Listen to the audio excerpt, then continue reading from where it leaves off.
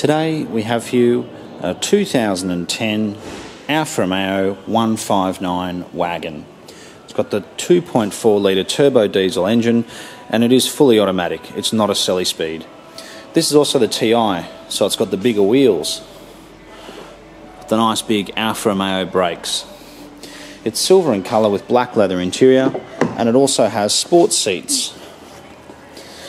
This car has a full Alfa Romeo Maserati dealer service history. It's got the original Alfa Romeo mats. As you can see, it does have the sports seats. These come with absolutely everything, including Bluetooth, parking sensors. They're beautiful cars to drive. You get a very good fuel consumption from the diesel engine and very good performance. I must say, these would have to be one of the best looking wheels I've seen on an Alfa Romeo. They're just gorgeous.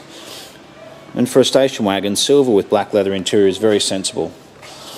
Silver doesn't show up the marks, and the black leather doesn't show up the marks on the inside either. It also comes with the unique TI badging as well. As you can see, you've got the twin exhausts. I think the wagons are such good value, and I personally think the wagon looks better than the sedan. The rear seats fold down.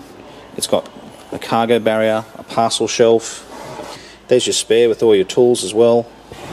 This car has done just over 50,000 kilometres. So if you're looking for Alfa Romeo 159, I strongly suggest you come and have a look at this one.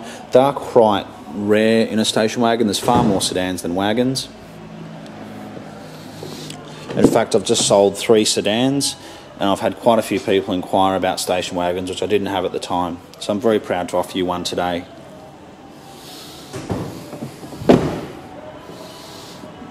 It's got two remote keys as well. For some reason, they tend to get lost over the years. Looks like you can plug your phone into these points in the glove box here as well, which is fantastic. It's got all the logbooks.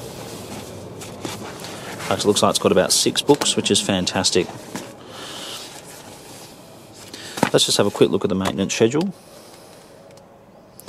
Yes, as you can see, it's got a full service history, and there is a sticker on the windscreen as well for from another garage where it's been serviced. So yeah, if you are looking for an Alfa Romeo, it's imperative you get one with a very good service history, which this car has. Again, being a TI just makes that a little bit more desirable. So if you are looking for this particular car, or if you're looking for a station wagon in general, please give us a call. Come and have a look, take this for a drive. You're not going to be disappointed. It really is a lovely car. So we're the Oldtimer Centre. We're located in Marrickville, and we certainly